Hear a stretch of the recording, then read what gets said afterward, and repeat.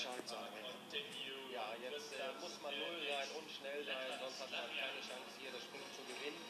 Und es ist ja ein Traditionsspringen und von daher äh, glaube ich schon, dass die meisten es versuchen werden. Er hat uns das gestern schon gezeigt, denn er hat gestern schon eine Prüfung gewonnen. Und das war schon klasse Sport, den er gezeigt hat. Also mal schauen, was er uns jetzt gleich hier vorführt mit seinem Neunjährigen. Das ist mal ein Westfale, also Konkurrenz aus dem Nachbarland. Ja, richtig. Ich habe auch mal meine besten Erfolge mit einem äh, Westfalen gehabt, mit Pilgrim. Ähm, es ist sicherlich so auch, dass heute viele, viele Zuchtpferde ge gekreuzt werden, was auch immer sehr erfolgreich war. Und nun schauen wir mal.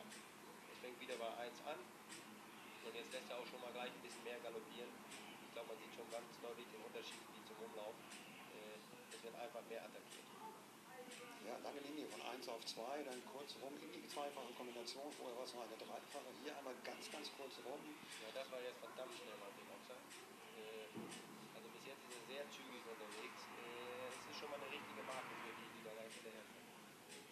Das war das, was wir vorhin angesprochen haben. Der Vorteil für die, die nachher kommen, die können natürlich einmal sich genau anschauen. Wo geht es noch, wo kann man noch Wege verkürzen, wo kann man Zeit sparen.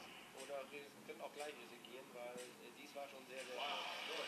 Tolle Runde wieder von ihm, 39, 78 in der Zeit, aber Björn, ganz ehrlich, letztes Risiko war das nicht.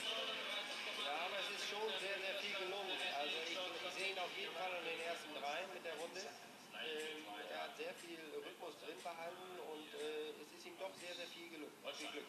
Christian Hess. Äh, die anderen Reiter, die jetzt kommen, haben das natürlich gesehen und wissen, von vornherein sehr viel Risiko gehen